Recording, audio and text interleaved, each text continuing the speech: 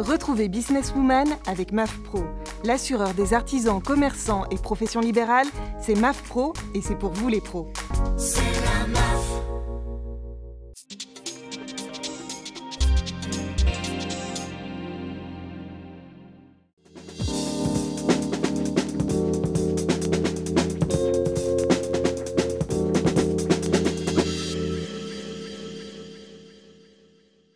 Bonjour à toutes et à tous, ravi de vous retrouver pour cette nouvelle émission de Business Woman. La thématique de ce mois-ci est un peu plus transverse que d'habitude car on va parler de vente et de rachat d'entreprise. Pour savoir comment se lancer dans les meilleures conditions, on a la chance d'avoir sur notre plateau trois invités au parcours et aux spécialisations très complémentaires. Arbia Smithy, vous avez fondu et revendu Carnet de mode, une marketplace dédiée aux jeunes créateurs de mode, et vous êtes également futur entrepreneur FinTech. Isabelle Guillaumard, vous êtes présidente du groupe CCI Productions, que vous avez racheté en 2008, et des laboratoires Osalis plus récemment. Cyrielle de Beaumont, quant à vous, vous êtes spécialisée dans la fusion-acquisition d'entreprises au sein du cabinet Largidière Finance, plus précisément chargée d'affaires seniors et en charge du développement. Dans cette émission, on va donc revenir sur les parcours atypiques de nos invités, comprendre comment préparer sa sortie ou son entrée en entreprise, parler accompagnement, femmes, fiscalité. Vous allez le voir, c'est un sujet où il y a énormément à dire. Alors j'espère que vous serez aussi nombreux à poser des questions que cette thématique est vaste. On va commencer euh, avec votre parcours Arbia. Vous avez fondé Carnet de mode en 2011. Votre bébé, vous l'avez fait grandir. Et en 2007, 2017, euh, euh, tout récemment, donc l'année dernière, vous avez décidé de revendre votre société. Qu'est-ce qui vous pousse à faire ce choix à ce moment-là? En général, en fait, enfin, je parle encore une fois dans un parcours d'un entrepreneur quand on commence, on ne réfléchit pas forcément à une acquisition ou une revente, on, réfléchit à la création d'une start-up et la mener en fait le plus loin possible.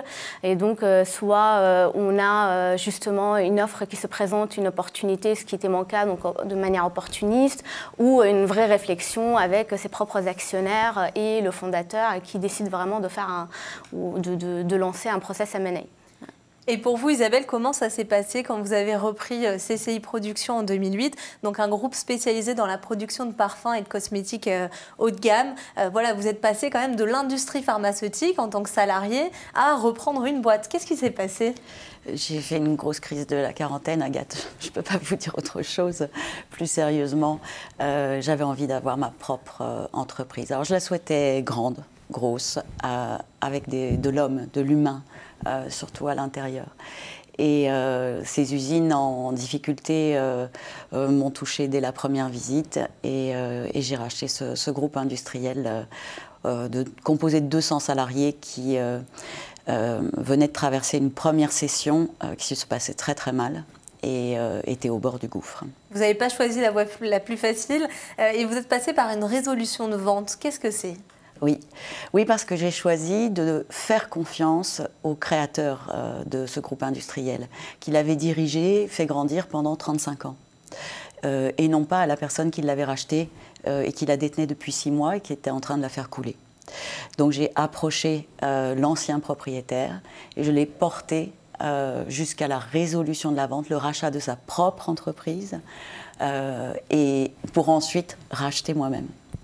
Et vous, Cyrielle, vous êtes spécialisée donc dans la fusion-acquisition pour un cabinet. Euh, est-ce que vous pouvez nous expliquer quotidiennement quel est votre rôle en quelques mots? Alors nous, oui, on accompagne euh, les clients de nos clients qui sont euh, des dirigeants et des actionnaires de PME et de TI. donc on les accompagne dans des opérations d'acquisition de société ou de cession de société ou de levée de fonds. Et en fait, on va vraiment les accompagner tout au long du processus jusqu'à jusqu'à la remise des clés de chaque opération. Alors, le rachat ou la revente d'une entreprise, ça reste quand même euh, une, euh, thématique à laquelle on ne pense pas quand on est entrepreneur. Il y a beaucoup d'offres sur le marché, d'ailleurs, de revente d'entreprises. Il y a des entrepreneurs comme vous, Arbia, euh, qui vendaient votre société par opportunité. mais finalement, quels sont les avantages, en fait, à vendre ou à racheter une société, Cyrielle? Alors, il n'y a pas nécessairement d'avantage euh, pour euh, revendre euh, ou racheter une société. C'est plutôt un projet de vie d'un dirigeant. C'est aussi un projet de vie dans la vie d'une société. de pouvoir grandir, il y a différents moyens. et il y a le moyen de la croissance externe, donc du rachat d'une société plutôt que de réembaucher et de la faire grandir. Alors c'est pour plusieurs raisons, souvent stratégiques. pour l'entreprise et ses dirigeants. C'était votre cas, je crois, Arbia, euh, la croissance de votre entreprise. Vous vouliez qu'elle grandisse mais Complètement. En fait, la question toujours se pose est-ce qu'un euh, adossement industriel peut mener euh, ma boîte beaucoup plus loin que si, justement, je lève des fonds avec d'autres investisseurs ou que je, la, fasse grandir moi-même? Donc, c'est là où, justement, le, choix de l'entrepreneur doit se positionner par rapport vraiment à, l'objectif de la boîte et la continuité. Alors ça fait quoi euh, de changer de boîte, euh, du moins de quitter sa boîte euh, pas du jour au lendemain, puisqu'il y a une passation, ça s'est fait quand même en sept mois pour vous. voilà, qu'est-ce que ça fait de quitter son bébé comme ça? Bah, ça fait toujours difficile parce que euh, enfin, j'ai jamais presque fait euh, la part des choses entre ma vie personnelle et professionnelle. C'était toujours euh, ma start-up, ma vie de la même manière. Mais bon, on, aussi on arrive à, faire le deuil pendant justement la période de passation et passer à autre chose. et dans mon cas, en étant un serial entrepreneur touché par le virus de l'entrepreneuriat, bah, on se met très très vite à, en fait, à réfléchir à d'autres idées et donc embarquer dans l'adrénaline de, nouvelles choses très vite. Donc, euh, ça se fait assez naturellement, alors, finalement. Et pour vous, Isabelle, qui avait changé, euh, euh, pas vraiment de domaine, mais en tout cas qui est passée d'un statut de salarié à statut de chef d'entreprise, ça fait quoi? C'est ça fait très drôle, pour tout vous dire. Quand on est cadre supérieur dans quel que soit le domaine, on a l'habitude de, de, dire appelez-moi l'informatique, appelez-moi les ressources humaines. Et lorsque l'on se retrouve chef d'entreprise euh, euh, à la tête d'une PME, eh bien, il manque toujours euh, quelque chose. Donc il faut aussi savoir être polyvalent et avoir des vraies compétences aussi pour pouvoir se débrouiller seul. Pour vous deux, ces transitions sont plutôt bien passées. Vous avez des âges euh, assez différents, je ne vais pas vous les demander, euh, mais ça fait quand même 10 ans que vous avez racheté. Est-ce qu'il y a un âge plus propice qu'un autre, euh, pour revendre ou racheter une entreprise, ou un moment de la vie de l'entreprise plus propice? Oui, alors il y a il n'y a pas nécessairement d'âge pour vendre ou pour acheter. Euh, c'est vraiment toujours un projet stratégique et un projet de vie. Un dirigeant, à un moment, va vouloir passer à la retraite. Euh, donc, il, va vouloir vendre également. Mais il peut vouloir vendre avant parce qu'il a d'autres projets de vie. Euh, c'est vraiment. alors, c'est aussi parce que je travaille pour des PME. Et dans la PME, il y a un, vrai côté humain et il faut vraiment comprendre le projet de la société stratégique. Je, je, suis à Paris, je veux m'implanter en région. Je veux. Enfin, voilà, il faut vraiment comprendre euh, le dirigeant, sa vision de la société, là où il veut l'emmener, et l'aider dans ce cadre-là. Donc il n'y a pas nécessairement d'âge, euh, il y a des bons moments. Et si le projet justement est bien construit, parce que vous insistez sur cette notion-là, c'est un peu la base, je pense, du coup, pour revendre ou euh, acheter une entreprise. Si le projet est bien ficelé, on peut même racheter une entreprise ou vendre, enfin, du coup, racheter une entreprise qui n'est pas du tout dans son domaine. Alors oui, facilement. oui, oui, oui. Euh, effectivement, quand on, quand on, va racheter une société et qu'on est déjà un groupe, on va pouvoir racheter euh, plusieurs choses. Donc à chaque fois, c'est très différent. Euh, on peut racheter des compétences complémentaires à notre activité. Donc on peut soit se renforcer ou soit racheter des compétences complémentaires. Et donc là, effectivement, il faut avoir une bonne idée de ce qu'on veut faire, comment on va le réintégrer dans notre société pour pouvoir savoir ce qu'on veut aller chercher, pour ce qu'on veut aller acheter fait. Et on peut acheter une société euh, même si on n'en a pas déjà fondé une soi-même, comme euh, Isabelle par exemple. Ah oui, on peut être dirigeant de société et euh, vouloir en racheter une autre pour faire justement évoluer et grossir. Mais sans avoir de société à la base Alors oui, on peut, on peut effectivement, tout peut commencer comme ça sans la fonder, mais plutôt reprendre une société sans aucun problème. Alors maintenant qu'on a un peu parlé des bases de vos parcours, on va s'intéresser plus précisément aux démarches, à comment ça se passe en fait d'acheter ou de vendre une société. Euh, il y a beaucoup de démarches, ça prend beaucoup de temps, c'est pas du jour au lendemain. La base, vous le disiez, euh, Cyrielle, c'est vraiment de construire son projet, euh, son projet de vie. Pour vous, Arbia, ça s'est passé comment? C'était quoi la première étape à partir de, de cette opportunité, ce contact Je pense que d'une manière méthodique, encore une fois, je suis ingénieure, donc c'est c'est c'est assez méthodique pour moi. Euh, une vente, ça commence d'abord par identifier ses acquéreurs potentiels euh, dans toutes sortes de secteurs, commencer vraiment à parler avec eux, à échanger, pas forcément en fait d'une vente parce que d'habitude ça se passe toujours entre une start-up et un grand groupe ou, euh, ou un industriel de manière très spontanée en, parlant de stratégie ou de partenariat stratégique. Voilà, enfin, donc c'est des gens avec qui on travaille, qui nous connaissent, qu'on connaît, etc. Donc ça, quand même, ça se construit sur, sur, sur le temps. ensuite, quand on vraiment on, on, amorce un process M&A, qui est un process quand même juridique assez lourd, un process aussi de négociation, un process où vraiment qui, qui, qui, qui contient, qui encadre en fait tout, tout le, surtout en fait qui touche à tous les actionnaires de la boîte. Donc c'est pas seulement le fondateur. Euh, on commence vraiment à faire des audits, donc la partie audit qui est quand même assez lourde euh, dans la vie, surtout dans l'entrepreneur, parce que ça prend énormément de temps. Déjà, j'avais l'habitude de faire des audits pour mes levées de fonds avant avec des, vrais, euh, enfin des, des, VC et des business angels, mais avec un, un, industriel pour une acquisition, bah, du coup les audits prennent une dimension beaucoup plus importante, juridique, technique, financière, etc. Et donc c'est ça qui prend beaucoup, beaucoup de temps. Et pendant ce temps-là, bah, on regarde toutes sortes de scénarios possibles et imaginables à partir du moment où l'acquéreur va reprendre la boîte. Est-ce qu'il y a des risques pour lui euh, qui vont venir euh, sur du, du, court comme le long terme? Et donc, c'est ces scénarios-là, justement, qui vont définir la négociation du, term sheet et, et du contrat, justement, d'acquisition avec l'industriel. Ça s'est passé pour euh, vous aussi de cette manière-là, Isabelle, euh, en termes de process? Je crois que vous illustrez bien euh, cette étape clé. L'enjeu, c'est tout d'abord de constituer son équipe de conseil, quel qu'il soit, que ce soit des cabinets, des avocats. Ça, c'est la base pour vous C'est la base. C'est s'entourer d'abord, au préalable, de sorte à ce que lorsque l'on a trouvé la cible, d'acquisition ou euh, l'acquéreur, eh bien, on est en place les équipes euh, tout de suite pour mettre le, process de négociation en route et d'audit. Alors justement, Cyril, comment on trouve un repreneur? Alors, je vais déjà rebondir, un, petit peu. Effectivement, c'est beaucoup un gain de temps et c'est beaucoup d'interlocuteurs à, à, piloter. Et donc, il faut au bon moment avoir un avocat, il faut au bon moment avoir un fiscaliste pour pouvoir vraiment se rassurer. un comptable. Et alors, il y a l'expert comptable qui joue, qui joue beaucoup aussi euh, au départ, euh, qui va lui euh, transmettre les éléments. nous, on va les, transformer, enfin, les transformer, les, les montrer le mieux possible à l'acquéreur pour qu'il puisse se projeter également. mais effectivement, il faut être vraiment très entouré, surtout juridiquement également, pour ne pas commettre d'erreurs.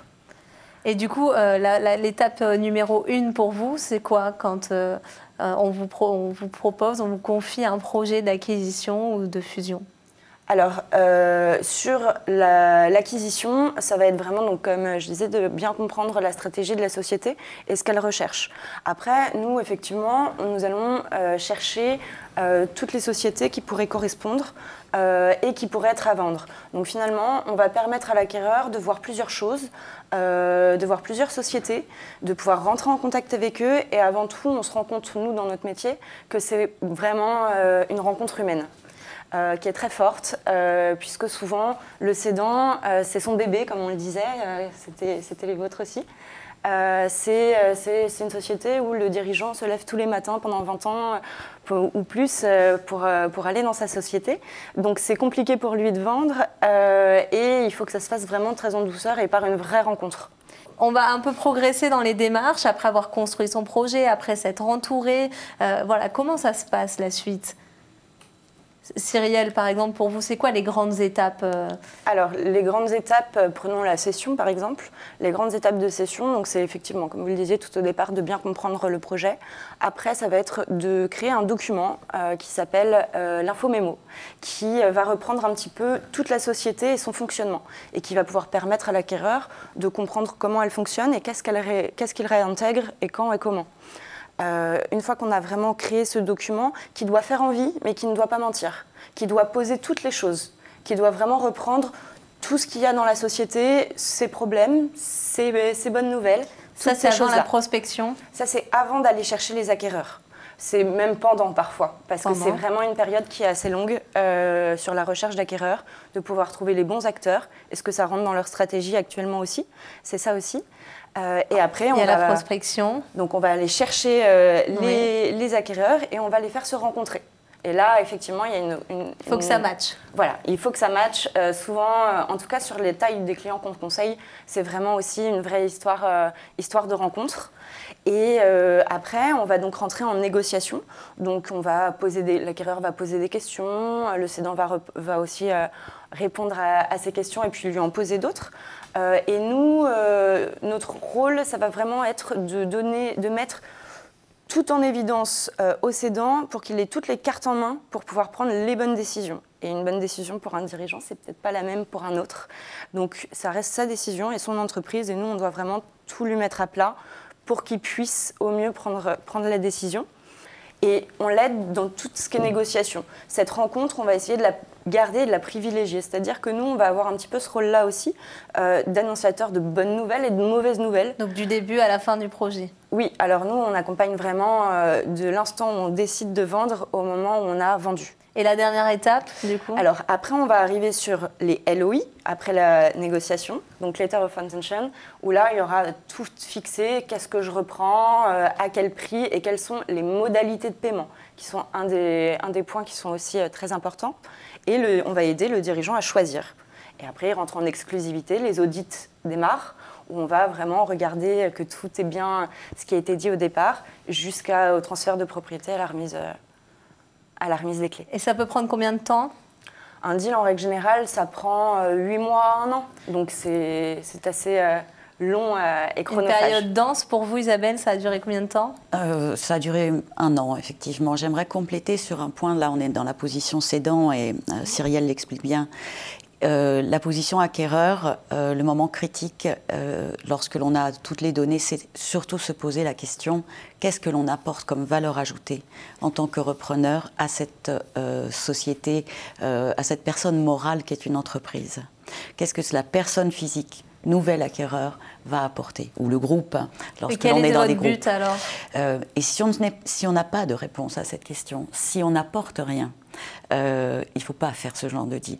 Car racheter une entreprise, c'est surtout assurer son avenir et pas prendre son présent pour euh, vivre son quotidien. Et pour lui assurer un avenir, il faut avoir une vraie vision et euh, une vraie compétence dans le domaine, ou bien s'entourer. Donc se poser la question primordiale de quel rôle je vais jouer et comment je vais pouvoir faire grandir cette entreprise. Et donc quel était votre apport, l'apport que vous souhaitiez apporter à CCI Productions?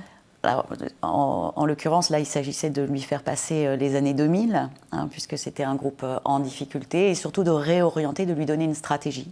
Euh, un groupe industriel qui n'en avait pas. et l'industrie était en plus en 2008 dans une période extrêmement difficile, puisque tout de suite on a eu le krach boursier et les carnets de commandes qui diminuaient et la perte d'un million d'emplois à peu près en 10 ans hein, en France. Et sans formation particulière, vous avez réussi à à relever ce challenge Oui, alors euh, heureusement, tout ne repose pas sur le chef d'entreprise. L'art d'un chef d'entreprise, c'est s'entourer, s'entourer des compétences. Et lorsque vous avez euh, les compétences autour de vous, que vous savez les animer, euh, les, les, valoriser, les optimiser, vous réussissez. Et est-ce que vous vous êtes fait accompagner par... donc je sais que vous ne vous êtes pas fait accompagner par un cabinet de type celui pour lequel Cyril travaille, mais peut-être par un mentor un tuteur Alors j'ai eu une stratégie un peu euh, particulière. J'ai constitué mon équipe au préalable. Et cette équipe, euh, je lui ai indiqué, vous allez m'aider à acheter une entreprise, mais vous allez rester après. Car si ça ne marche pas, on sera ensemble dans le bateau pour voir pourquoi ça ne marche pas. Et donc, euh, les conseils, c'est bien, c'est beaucoup de commissions, c'est beaucoup d'argent. Euh, et souvent on dit les conseils ne sont pas les payeurs. Euh, donc moi, j'aime bien les garder avec moi, de façon à échanger les, premières années. Et j'ai une équipe formidable d'avocats et, de, et de financiers. Qui, de trois personnes, je crois, qui vous entourent. Qui m'accompagnent depuis dix ans. Et j'ai l'habitude de, les mettre, de mettre leur avis en, en commun lorsqu'ils ne sont pas d'accord ensemble, euh, eh bien, je ne prends pas de décision. J'attends. J'attends Pour quelle raison? Parce que j'aime. Alors, je, trouve que les conseils euh, et les conseillers sont très chers, il y a beaucoup d'honoraires. Donc, euh, pour moi, il n'y a pas deux options. Soit les conseils sont bons, on les écoute, sinon ça ne sert à rien de, payer des conseils. Et s'ils sont mauvais, ben, il faut surtout se débarrasser de son conseil. Donc, Donc si ces personnes ne sont pas d'accord, pour vous, ça veut un peu dire qu'il y a quelque chose... Oui. On a encore de l'analyse à faire et on a encore à chercher une solution. Alors, vous parliez de vous entourer de spécialistes et justement, on a euh, l'Institut euh, du mentorat, qui euh, l'IME, qui nous a mis un commentaire sur la page Facebook et qui est totalement d'accord avec vous sur l'accompagnement. C'est une vraie clé, s'entourer de spécialistes en tout cas, pour réussir le rachat ou la vente d'une entreprise. Euh, pour vous, Arbia, est-ce que vous avez aussi euh, euh, passé cette épreuve toute seule ou est-ce que vous êtes fait entourer? J'étais déjà entourée par un conseil stratégique, un board C'est quoi un board? Bah, En fait, on constitue un board au moment où justement on a des actionnaires et moi j'ai plusieurs business angels plus un, fonds d'investissement institutionnel. Donc c'est justement des gens qui ont l'habitude de, de, de d'ailleurs euh, tout leur métier euh, d'accompagner les startups euh, de justement l'investissement ou la levée jusqu'au rachat et l'exit parce qu'ils sont aussi actionnaires dans la, dans la boîte. Donc voilà, j'étais entourée par eux justement, leurs conseils tout au long de justement de l'exit jusqu'au bout. Et euh, vous parliez d'audit tout à l'heure. À quel moment ça intervient est-ce que là aussi, il faut se faire entourer? À qui on fait appel? Euh? Alors, euh, les audits, en général, c'est commandé par l'acquéreur. Donc, c'est l'acquéreur qui impose justement ces audits-là spécifiques en prenant justement des cabinets spécialisés, des agences. Ça dépend encore une fois des audits. Moi, j'ai eu un audit technique, un audit juridique, un audit financier. Et donc, chaque audit, justement, doit faire appel à un cabinet spécialisé. et donc, c'est pas forcément de mon côté mais c'est à moi justement de répondre à ces audits-là pour justement euh, donner toutes sortes d'éléments. Analyser votre société bah, En fait, euh, c'est eux qui analysent, c'est eux qui posent les questions et c'est à moi justement d'apporter tous les éléments de réponse. Euh, donc oui, c'est mon travail à moi, plus ma team, enfin toute l'équipe, nos comptables, nos avocats, etc. Donc, ils sont importants ces audits, Cyrielle Alors oui, ils sont très importants. Ils vont arriver indispensables. souvent. Euh, c'est mieux euh, tout de même, comme ça on sait vraiment ce qu'on achète en fait. Ils vont arriver juste après la LOI, euh, donc ce qui fixe les, conditions, les conditions, et juste avant l'offre ferme. Donc ça permet de vérifier que tout ce qui a été dit avant est bien vrai, est bien là, qu'il n'y a pas de choses cachées, qui, que, tout va bien et qu'on achète, qu'on sait bien ce qu'on achète. Ce qu'on achète ça permet en fait euh, voilà. de donner une réelle analyse, d'analyser toute la société en entier euh, pour, être, euh, pour savoir où on va et ne pas avoir de surprise derrière. Tout à une fois la société achetée. Peut-être aussi permettre de définir fermement, comme vous disiez, le prix. Alors oui, il a forcément une incidence aussi sur le prix, surtout si on découvre des choses qui n'ont pas été dites avant. Donc c'est nous, aussi notre rôle hein, d'essayer de mettre le, les choses de la façon la plus claire possible pour, en amont pouvoir prévenir l'acheteur de tout. Et s'il rachète une société, il doit être au courant de tout. Euh, et ça se vérifie au moment des audits, en fait. Les audits, vous en avez euh, demandé, vous, euh, Isabelle? Oui, bien sûr, mais j'ai aussi audité moi-même, c'est-à-dire en, immersion pendant trois mois avant la signature dans, l'entreprise, en ouvrant moi-même les placards pour essayer de trouver les, les, problématiques. Il faut de toute façon se préparer à des mauvaises surprises. Euh, il ne faut pas penser que l'audit euh, vous donne une certitude et une parfaite connaissance. Euh, il faut se préparer en tant que chef d'entreprise aux surprises, bonnes et aussi mauvaises. Et ça a été le cas pour vous Bien sûr, comme tout le monde. Et comment vous avez réagi? Eh bien, euh, il faut une capacité à les assumer. Euh, et la clé, je pense, bon, les bonnes, c'est facile. Hein. Tout le monde sait gérer le bon et le bonheur. Euh, le, mauvais, c'est surtout savoir l'optimiser, construire dessus et le transformer en opportunité. Ça, c'est la clé vraiment du succès pour les entreprises.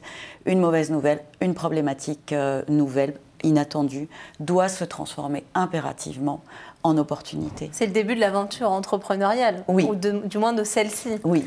Et justement, euh, après ces audits, intervient, intervient comme on le disait, euh, la, définition, la négociation du prix. Euh, comment en fait on définit le prix de vente d'une entreprise? Arbia, ça s'est passé comment pour vous? Le prix, en fait, euh, dépend d'énormément d'éléments. C'est un peu comme vous parlez de valorisation de la boîte au moment de la levée de fonds. Euh, c'est pas forcément basé sur un business plan avec des chiffres ou un chiffre d'affaires ou un EBITDA, etc.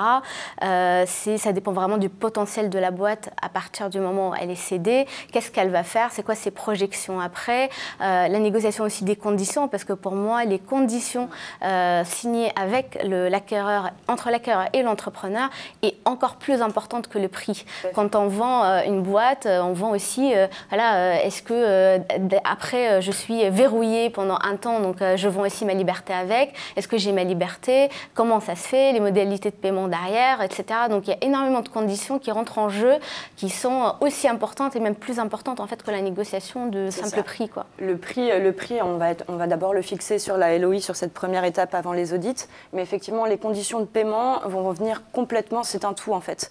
Et les conditions de paiement et toute autre condition, c'est vraiment ça qui est aussi à prendre en compte. Donc euh, avec plusieurs offres, il faut réussir à choisir quelle est la bonne parce que c'est quel est le projet qu'il y a autour également. C'est pas qu'une question de prix et surtout dans les PME. Et puis ça permet aussi de se projeter en fait sur le potentiel de la société et l'argent qu'elle va pouvoir dégager plus tard. Par contre, euh, quand on vend une société, on ne vend pas son futur, euh, en règle générale. On vend son histoire, ce qu'elle a fait, là où elle en est, et potentiellement des contrats qui vont déjà être signés, des choses, mais on, on ne vend pas son futur. Son futur, c'est l'acquéreur qui va le créer et l'insuffler. Ça ne fait pas partie du contrat euh, s'il y a des choses. l'entrepreneur est payé en earn-out, ça veut dire sur des objectifs en fait à faire, parce que c'est la plupart des cas, la majorité des cas, l'entrepreneur doit rester justement dans la société pour assurer la continuité pendant un moment. Euh, là, pour le coup, c'est très très important et ça rentre complètement dans la, enfin, la projection en tout cas euh, de, ce qui va être fait euh, rentre en jeu. Donc là, oui, c'est une des possibilités d'accompagnement derrière, sur les modalités de paiement, d'avoir un earn-out, mais c'est un cas parmi euh, plein. Euh, et où effectivement, c'est plus, on va se baser sur ce qui a été fait. Euh, si, sinon, on se retrouverait avec beaucoup de cas qui, qui, diraient oui, mais ma société, dans 5 ans, c'est Google. Ok, mais ça, c'est l'acquéreur qui va essayer de l'emmener le plus possible vers, vers un projet. d'en faire ce qu'il Voilà, c'est pas le cédant qui doit faire le projet de l'acquéreur. Pour vous, Isabelle, la négociation du prix a été difficile ou euh, avec justement ce, fondateur de société qui est devenu repreneur Cette résolution de, vente, oui, c'était un contexte euh, particulier, bien évidemment, surtout en plus avec un LBO qui s'effondrait et, euh, le krach boursier. Bon, toutefois, une fois qu'on a passé ces étapes-là de, construction du prix et, et, et payé, euh, l'entreprise.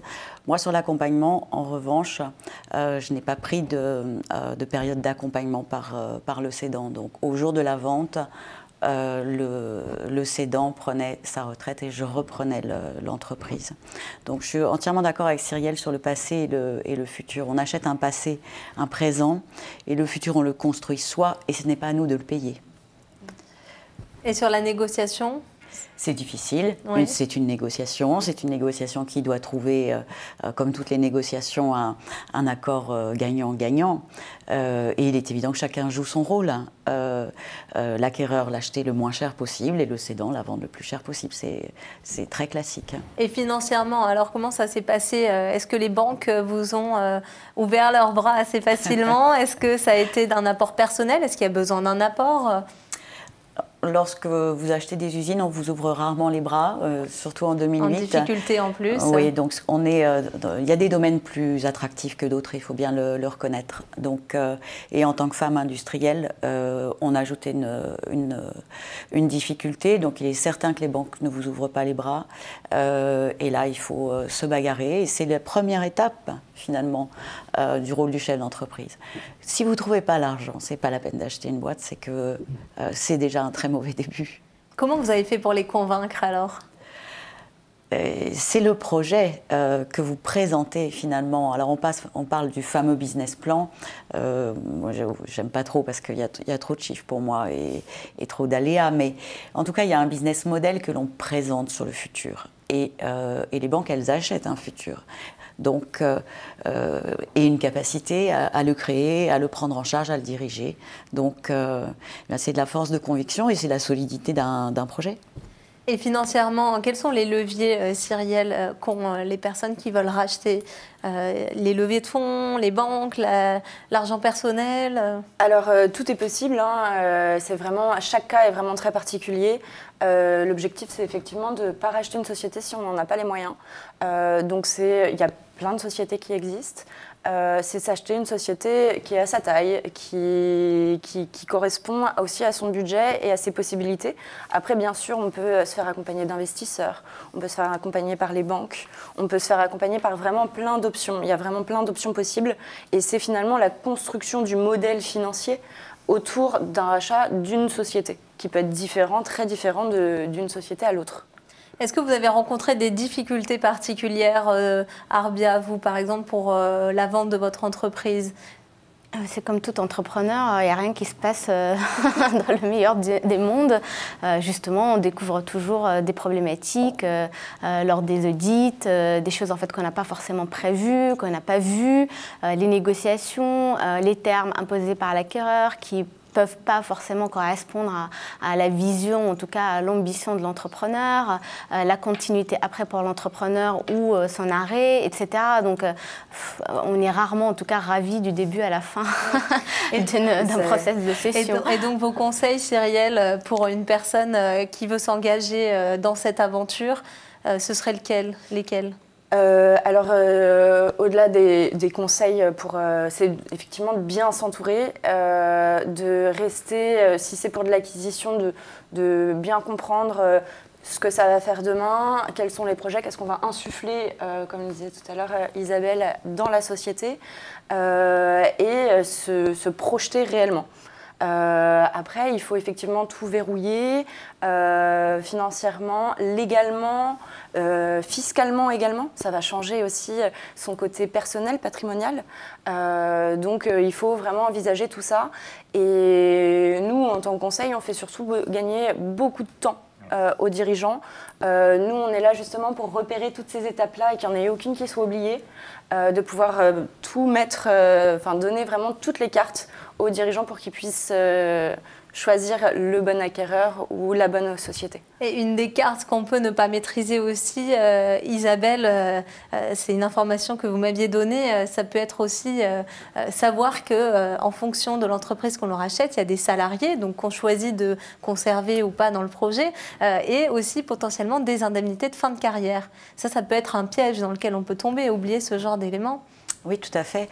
Euh, alors, dans les très grosses entreprises, évidemment, c'est provisionné euh, et on les voit tout de suite euh, au moment de, l'audit. Mais lorsque, dans les PME, si le corps social prend sa retraite dans les cinq prochaines années et qu'il y a un vrai savoir-faire détenu, eh bien, finalement, vous achetez une coquille vide.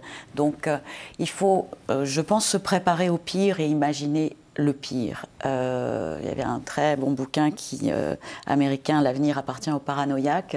Je crois qu'un bon chef d'entreprise, et au moment de l'achat, il faut être très paranoïaque et euh, envisager le pire, prévoir le pire, mettre tout au pire pour n'avoir que finalement de la bonne surprise il y a des difficultés donc, qui font partie euh, de la vie d'un entrepreneur. Il y a d'autres difficultés euh, qui sont totalement indépendantes, des difficultés qui sont propres aux femmes. Là, je me tourne encore vers vous, euh, Isabelle. On va parler de femmes. En 2013, on vous a diagnostiqué un cancer du sein.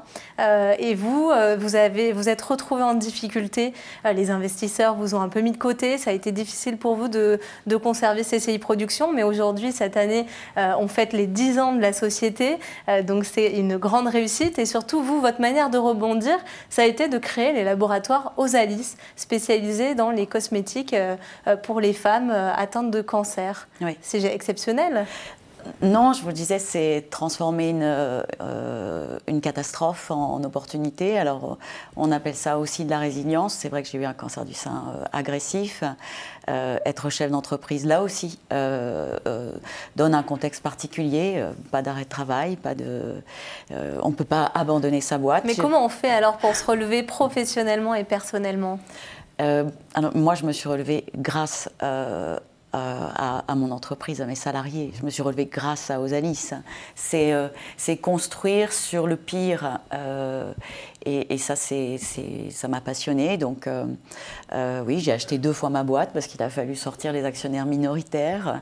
oui, une femme avec un cancer, un chef d'entreprise avec un cancer, ça, on lui prête pas beaucoup. Et, finalement, Osalis est né d'une épreuve et c'est devenu un formidable projet transversal euh, du groupe au service des femmes euh, du monde entier. Une entreprise très impliquée dans le sociétal, aujourd'hui, c'est devenu euh, une force Oui, oui c'est devenu une industrie et le groupe est devenu une entreprise sociétale avec l'intégration et la signature de la charte Cancer at Work. On intègre les malades, on capitalise sur les plus fragiles, on valorise le pire finalement. Et on s'aperçoit que dans ce contexte, euh, les meilleurs, les bien portants, ceux qui vont bien, vont encore mieux. Parce que euh, ce management bienveillant, euh, finalement, les rassure aussi pour leur futur. Et les femmes, alors comment vont-elles dans ce milieu de rachat et de vente d'entreprises? Arbia, ça s'est bien passé pour vous euh, euh, côté euh, féminin, on va dire? Est-ce que vous n'avez pas eu des difficultés à négocier? Est-ce que vous n'avez pas été fait, fait, face à de la misogynie? Je pense que j'ai eu plus de difficultés en étant founder tout seul que founder femme. Parce que de toutes les façons, fondateur tout seul, euh, ça veut dire pas d'associé avec qui se challenger, partager, euh, partager les bons moments comme les pires moments, euh, décider ensemble, etc. Donc c'est assez dur quand même moralement et physiquement de tenir une boîte tout seul. Donc c'est plus, je pense que c'est plus c'était ces difficultés-là par rapport à, en tout cas aux investisseurs en face qui ne voyaient pas forcément un fondateur comme une équipe idéale pour une, pour une entreprise. C'est connu de toutes les façons mondialement. Enfin, on, estime qu'il faut toujours une équipe dirigeante un peu plus grande qu'une seule personne, avec des profils complémentaires.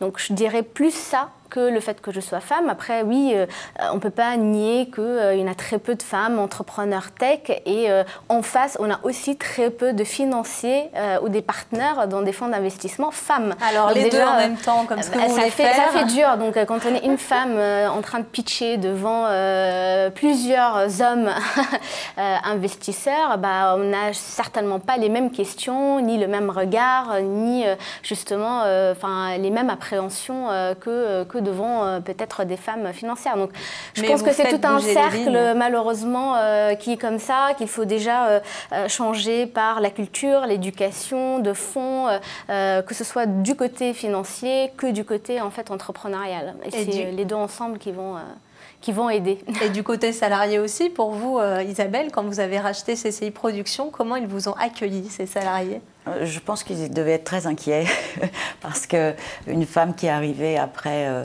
un, patron euh, présent depuis 35 ans, c'était, je pense que c'était compliqué. Et, finalement, le, respect est venu par l'exemplarité, par la, réussite et, la gestion des, difficultés.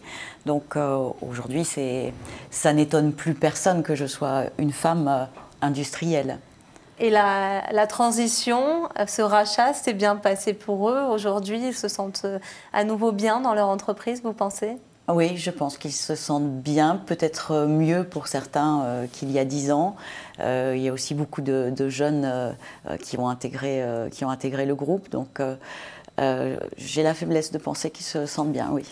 Et euh, de votre côté, Cyrielle, quel regard vous portez sur euh, les femmes entrepreneurs avec euh, lesquelles vous êtes potentiellement en contact au quotidien? Alors pour moi, ça ne change pas vraiment grand-chose. un dirigeant, c'est un dirigeant, que ce soit une dirigeante ou un dirigeant.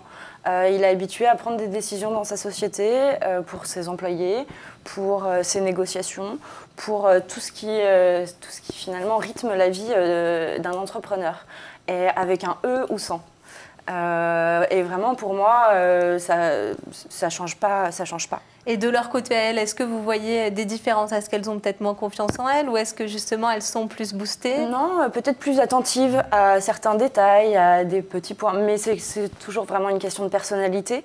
Mais c'est vrai qu'on va trouver dans certaines industries où ça va être encore plus pertinent d'avoir une femme parce que c'est elle qui utilise les produits, toutes ces choses-là. mais peut-être un petit peu plus pointue sur certaines choses. Euh, certaines préoccupations. On va parler euh, maintenant de l'après, la suite, ce qui vous attend euh, pour ces prochains mois, ces prochaines années, ce qui attend aussi les futurs acquéreurs pour Cyrielle. Comment euh, on fait déjà pour euh, donner une impulsion à cet après euh, Arbia? Vous avez revendu carnet de mode, vous avez eu 7 mois de passation. Oui, moi c'était très rapide dans ma tête.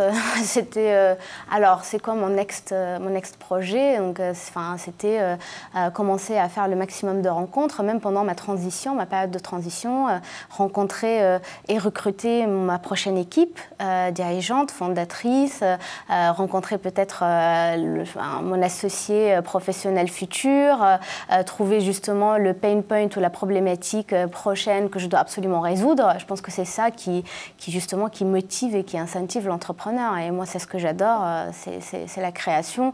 Donc ça a rythmé, je pense, toute ma période de transition jusqu'à maintenant. Et, et, là, j'avance très bien sur le lancement de la nouvelle boîte. Donc j'ai pas eu vraiment de période de de, repos euh, à rien faire. Et pour vous, Isabelle, alors, pour leur donner confiance à ces salariés, qu'est-ce que, qu'est-ce que vous avez fait? Alors, sur la, il faut une vision claire. Euh, un, patron, c'est avant tout une vision euh, et, une équipe. Et je crois qu'en donnant une, stratégie, euh, donnant les moyens d'atteindre les, objectifs, eh bien, la confiance vient. C'est, aussi du, le respect, ça vient de l'exemplarité et ça vient du succès.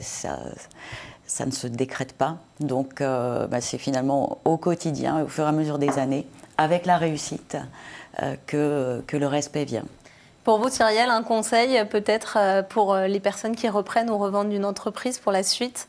Sur le niveau de la passation? Oui. Sur la passation, effectivement, l'objectif c'est de garder toute la valeur ajoutée de la société qu'on vient d'acheter, ou en tout cas celle qu'on vend. C'est vraiment essayer de se reposer sur les bonnes personnes au sein des équipes, de façon à ce que ça continue vraiment à tourner, à vraiment garder tout ce qui a été fait dans le passé. Euh, par le vendeur et d'essayer de vraiment euh, faire cette continuité, de rajouter des choses également. Et après, pour effectivement un repreneur ou, même un groupe, il y a une hybridation des équipes.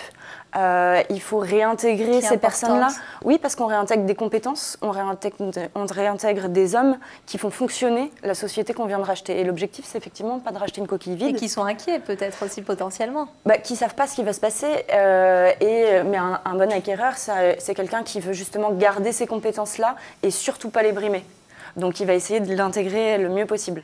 Et c'est en ça que vous pouvez être fiers, hein, toutes les trois, je pense, euh, dans vos métiers respectifs. Et d'ailleurs, c'est ce que n'arrête pas de souligner nos internautes euh, là qui nous regardent sur live Facebook. On a beaucoup de félicitations, beaucoup d'admiration pour vous trois. Un petit plus particulier pour vous, Isabelle, apparemment, de ce qu'on transmet. Donc encore félicitations pour ce que vous faites. Euh, et on va parler maintenant peut-être aussi, je vais citer ce qui se fait en ce moment sur les sites internet pour la revente ou pour l'achat d'entreprise. on a notamment les chambres de métiers d'artistes qui propose de nombreuses opportunités pour ceux qui veulent reprendre des sociétés. J'avais noté aussi le site de notre partenaire, l'AFE, l'Agence France Entrepreneur, euh, l'Assemblée permanente des chambres de métiers, donc de l'artisanat, on l'a dit, euh, BPI France, CCI Entreprendre en France, Cédant et repreneurs d'affaires, le Conseil national des barreaux, le Conseil supérieur du notariat et également le Conseil supérieur de l'ordre des experts comptables. Vous pouvez vous renseigner sur ces sites, vous pouvez vous informer sur toutes ces plateformes. Il y a énormément euh, d'informations. Euh, on n'a pas tout à fait terminé cette émission. On va parler vraiment maintenant des projets euh, que vous avez. donc Arbia, voilà, maintenant Carnet de mode, c'est derrière vous. Vous avez passé les sept mois de passation. Vous restez dans les mêmes locaux puisque Carnet de mode a déménagé. Qu'est-ce qui va se passer dans ces futurs locaux?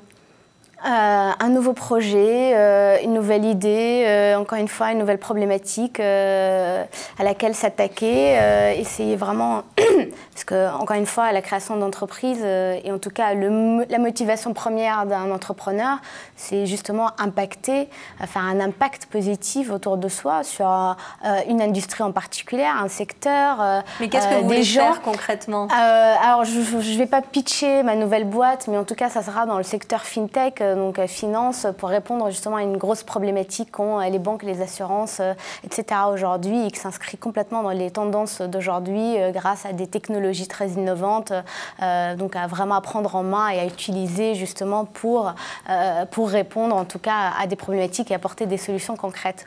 Donc voilà, voilà. Les projets. Pour vous, Isabelle, les prochaines étapes des vies de vos entreprises? Alors la, la grande étape, c'est la conquête du monde avec euh, la marque Osalis. mon combat, c'est les femmes depuis, depuis 20 ans, donc une marque pensée, dédiée aux femmes touchées par le cancer et qui répond à, à, leurs difficultés donc, et les ramène petit à petit à la salle de bain et à l'estime d'elles-mêmes. Donc c'est le grand projet du groupe Osalis. C'est important. Et pour vous, Cyrielle, la toute dernière étape de votre accompagnement euh, pour les cédants ou euh, pour les repreneurs, c'est quoi? Euh, la dernière étape, ben, c'est effectivement de passer de je suis dirigeant à je, vais faire autre chose. donc c'est changer, c'est un projet de vie à un moment assez important et c'est bah, de les accompagner jusqu'à la fin, à la fin de cette période-là et de les rassurer jusqu'à ce moment-là. Et les projets pour vous au sein de votre cabinet? Alors euh, nous, euh, Finance, effectivement, on est euh, assez, assez dynamique et plutôt en progression. On a fait rentrer un, un, nouvel actionnaire il y a, il y a il y a quelques mois euh, au capital qui, s'appelle le groupe euh, Cristal, qui distribue des solutions patrimoniales. Euh, donc maintenant, on est un petit peu aussi sur le côté patrimoine personnel du dirigeant pour l'accompagner dans sa globalité. et on est, les équipes grossissent de jour en jour et l'objectif, ça sera de continuer à accompagner de cette façon-là et du mieux qu'on peut tous nos clients dans leurs projets. Donc que du positif pour toutes les trois. Un dernier mot positif pour les personnes qui nous regardent, un tout dernier conseil Isabelle euh, moi, je dirais, euh, euh, mesdames, lancez-vous, hein, puisque c'est businesswoman, lancez-vous, ayez confiance en vous. Et, et certains disent qu'il vaut mieux changer ses rêves plutôt que l'ordre du monde. Moi, j'ai l'habitude de dire que je crée mon monde. C'est plutôt l'inverse. Arbia Pareil, arrêter de réfléchir parce que c'est très féminin. On réfléchit beaucoup et du coup, quand on réfléchit, on, trouve énormément de, doutes et, euh, et, du coup, on on, saute pas le pas, euh, alors que dès qu'on saute dans l'aventure entrepreneuriale, on regarde plus derrière. Euh, franchement, on est pris directement par l'aventure. Et surtout, entourez-vous, entourez-vous par des gens meilleurs que vous, parce que c'est ça, c'est ça un vrai entrepreneur, un vrai leader parole d'entrepreneur. Et Cyrielle, le mot de la euh, fin bah, Je vais reprendre euh, Entourez-vous, que je trouve plutôt, bien. Et euh, sinon, oui, entreprenez, faites des choses qui vous passionnent, des choses qui guident vos journées, et allez-y. Merci. Le rachat ou la vente d'une entreprise, hein, vous l'avez compris, c'est accessible à tous du moment que l'on a défini un projet, que l'on s'y prépare et que l'on reste patient jusqu'au jour J finalement, ça a un peu des airs euh, de mariage, hein, tout ça, ou d'anniversaire. Et d'ailleurs, je crois savoir que c'est le vôtre, euh, Isabelle, aujourd'hui. Donc, au nom de toute l'équipe de Demain TV, de WeDoBiz et de nos partenaires, on vous souhaite un bel anniversaire, une belle continuation pour vos projets, belle continuation également aussi pour euh, Cyrielle et Arbia. Merci à toutes les trois d'être venues sur ce plateau pour partager vos expériences. Merci à tous ceux qui nous ont suivis. On espère que vos, aventures entrepreneuriales ne font que commencer et ont inspiré nos téléspectateurs. Téléspectateurs qui peuvent voir ou revoir cette émission sur ellesentreprennes.fr, widoubiz.com et bien sûr demain.fr. À très bientôt pour rencontrer d'autres femmes qui ont réussi et qui prouvent une fois de plus que derrière chaque businesswoman, il y a une vocation, la vôtre.